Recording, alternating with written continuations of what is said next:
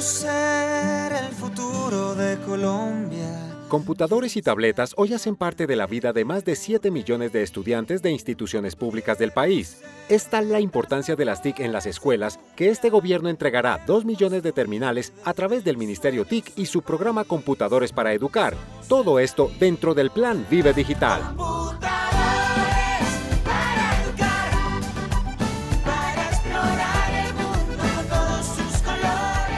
Actualmente, 34.191 sedes educativas emplean estas tabletas y computadores para acceder a una mejor información, permitiéndoles de esta manera estar a la par de un niño o joven de cualquier parte del mundo.